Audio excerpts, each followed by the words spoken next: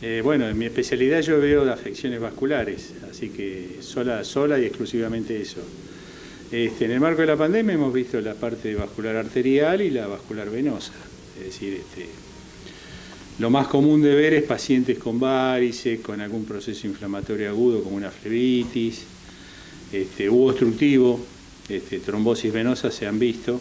Eh, eh, bueno, la trombosis venosa se ve habitualmente, se diagnostica con ecodoppler, este, es este, bastante llamativa, es decir, las presentaciones con, con hinchazón de la pierna, con mucho dolor, con algunos cambios de color, y hay que anticoagular rápidamente porque ahí sí es peligroso, puede desprenderse el coágulo y hacer una embolia pulmonar que puede llegar a ser mortal en algunos casos. ¿no? O patología de varices se ve mucho, y en invierno también se ve la patología arterial, que ya tiene una subobstrucción arterial, es probable que si sigue con hábitos como fumar o, sin ningún control, con una, con una este, afección de, nosotros decimos dislipémica por aumento del colesterol, eh, alguna de esas arterias se tape y bueno, llame a la consulta o venga con síntomas agudos o crónicos. Y durante plena cuarentena, este, yo estoy también en, hacemos la guardia de, vascular del hospital, hemos visto pacientes,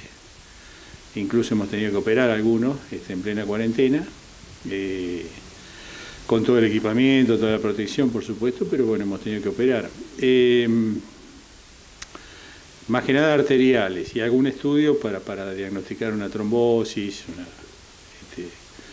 pero se redujo mucho por, por el aislamiento. ¿no?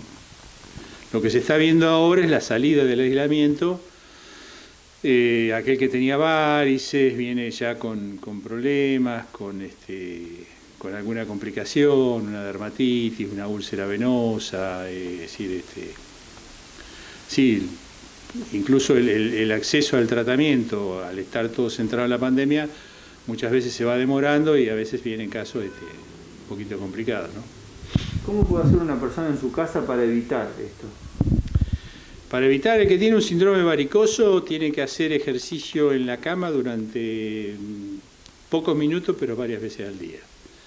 Es decir, tiene que movilizar lo que se llama el eje de la, mm, de la pantorrilla, la, bomba venosa de la pantorrilla le llamamos nosotros, que es el músculo gemelo trabajando este, con la dorsiflexión del pie, eh, es decir, subir y bajar la pierna o doblar y el pie o hacer una circunferencia, este, no mucho tiempo, 5 o 10 minutos, tampoco muy elevado, sino con una, apoyado en una almohada para no raspar sobre la... Eh, con que haga ese ejercicio 5 o 6 veces por día en la cama, en la cama es, es, es muy importante, porque activa mucho la circulación. La circulación al estar parado no, no, no se activa la circulación venosa. La arterial va sola por el impulso cardíaco, pero la venosa no se activa. Entonces hay que activarla. Si no se puede caminar a largos trechos en forma continua, este, o aquel que tiene para una cinta o tiene una bicicleta fija, que lo haga. ¿eh? Todos los días un ratito es, es, muy sano. Y después, bueno, acompañar este,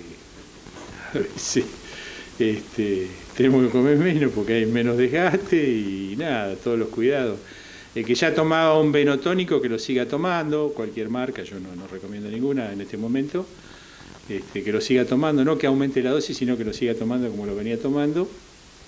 Pero básicamente es ese ejercicio que te estoy hablando que, al perder el, transitar varios trechos, ¿no? es, es muy conveniente para el organismo.